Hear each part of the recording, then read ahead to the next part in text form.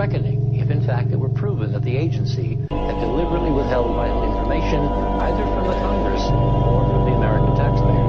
Suddenly, without warning, JPL released nine new civilian images. Years old. Eventually, 60,000 new images of Mars were dramatically released, and on those, some breathtaking discoveries have now begun to quietly June of 2000, we discovered potentially our most extraordinary artifact. This mile-long, several hundred-foot wide structure with translucent exterior, a brilliant sun glint, and evenly spaced ribs that looks for all the world like an artificially constructed glass tunnel, which some have termed, like Arthur Clarke, a glass worm on the surface of a planet it has, again, no business being